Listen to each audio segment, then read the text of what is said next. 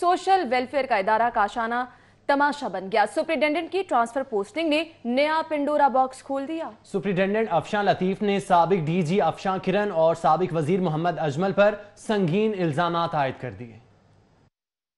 مہاجی بہبود و بیت المال پنجاب کے ادارے کاشانہ کی سپرنٹینڈنٹ افشان لطیف کا 26 نومبر کو ٹرانسفر لیٹر جاری ہوا تو انہوں نے اسے ذاتی رنجش کہہ کر الزامات کی پٹاری کھول دی۔ انہوں نے کہا کہ سابق ڈی جی افشان کرن اور سابق وزیر محمد اجمل بچیوں کی چھوٹی عمر میں شادی کروانے کا کہتے تھے۔ انہوں نے بتایا کہ احکامات نہ ماننے پر تبادلہ کیا گیا ہے۔ اس سے پہلے افشان لطیف کو معطل بھی کیا گیا تھا۔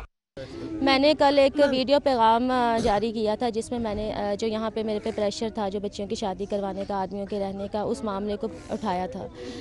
جس کے اوپر آج صبح پولیس نے آ کے یہاں کے داخلی دروازے توڑے ہیں وہ دارے میں گھس گئی تھی۔ نئی تعینات ہونے والی سپرنٹینڈنٹ سمیا اعجاز آج چارج مالے پہنچی تو افشان لطیف نے تالے لگا دیے۔ بچیاں بھی سہم گئیں۔ رہائش پذیر بچیوں کا کہنا تھا سابق ڈی جی ان سے غلط باتیں کرتی تھیں۔ ڈی جی ہماری شادی کرنا چاہتی تھی جب ہماری میڈم نے اس کے لیے آواز اٹھائی ہے تو ان کو غلط قرار دے دیا گیا ہے۔